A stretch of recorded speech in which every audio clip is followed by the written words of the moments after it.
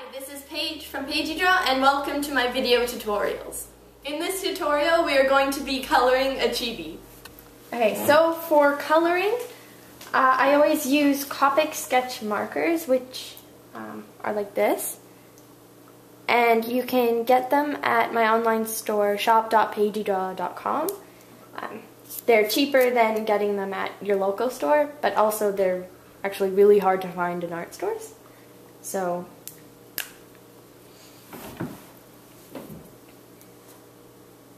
So right now I'm going to be using uh, floral white for my skin, well the skin base color. I used to use one shade darker, but I like starting with a very, very light color as a base, and then I can make it darker from there. I personally find it's much easier. And Copic markers are much different than normal markers. Um, you can keep going over and over that one line and you will not get any streaks. Um, if you're doing a large area, you it's really hard not to streak it, but it will do much better than getting um, markers not made for art. So I'm going to add some blush. Um, I add the pink color just before I start shading the skin because I want the pink to blend into the base. And then when I go over with a darker skin color it will blend in much better. So it's not just one pink gob.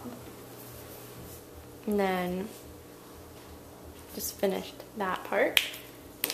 And I will go over with my floral white again just to make sure it mixed in a lot and then I will go over with the skin white. I always find that once you start shading the skin, it, it's much quicker. So when I'm just adding the darker colors, because you're not doing much, you've already done everything with the pink and the base. So now I'm gonna start coloring the dress and the accessories. So starting with this light brown. This chibi was inspired because I really, really, really want cotton candy ice cream. So her top is like a waffle cone and her skirt's going to be the ice cream. So I just started with this um, brick beige as the base for the waffle cone. And then I'm gonna do the base for the skirt. So I'm gonna start with pink.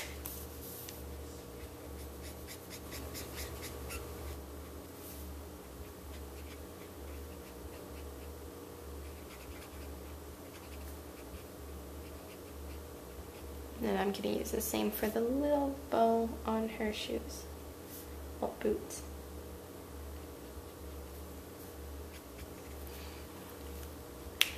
And then I'm going to be shading with, uh, for the pink parts, R81 and R85, so rose red and rose pink. And for the skirt, I'm going to be using just a tiny bit of violet and viola. And for the uh, waffle cone parts, I'm going to be using light camel and light walnut. So we can fast forward.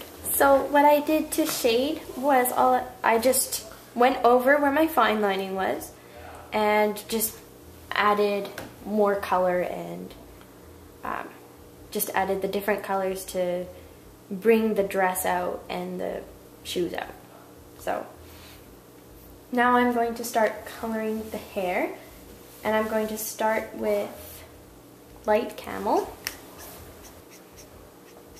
Then you have the base color and I don't want to leave that as the hair color because it's not that interesting. So I'm going to be adding some light walnut and I start at the bottom, each bottom piece of the hair and I go up then the hair still looks pretty boring, so I'm going to be adding some dark brown and just a little bit of it. Because I find when you add darker colors to the hair, it just makes it stand out a bit more.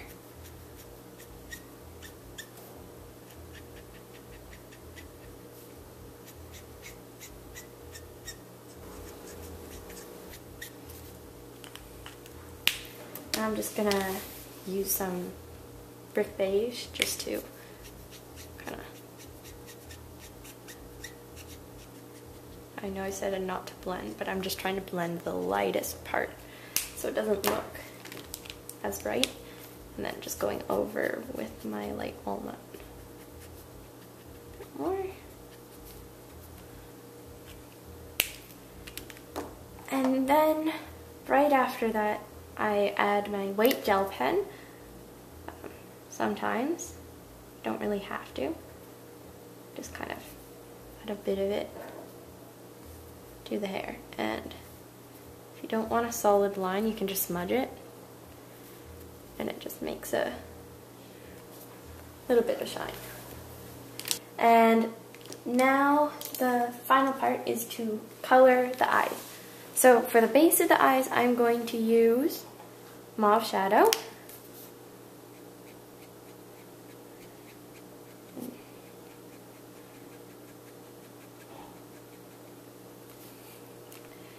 And I'm gonna let that dry for about a couple seconds. Um, when I do eyes, I like to make sure that the ink is more, like a bit more dry than I normally have it because um, since eyes are so small, all it's going to do is blend in if you don't let it dry. So I just put some viola on there, just to the top. There's not much of a color difference, but it's best to add, even if it's a slight change, just add that color. And I'm going to use rose red, top bit. This is just going to make it a little bit more bright? And then I'm going to go over with viola again.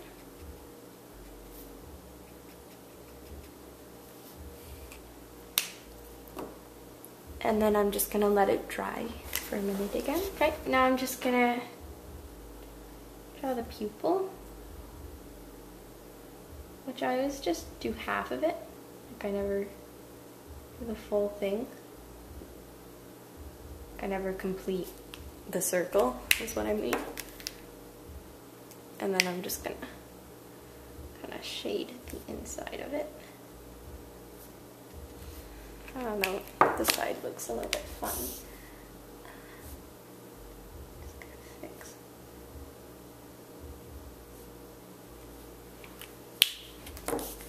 And then to finish off the eyes, you're just going to add a couple dots of white gel pen. Just to add a little bit of shiny to it. And you've finished coloring your chibi. Thanks for watching my PaigeeDraw video tutorials. Please check out PaigeeDraw on Facebook.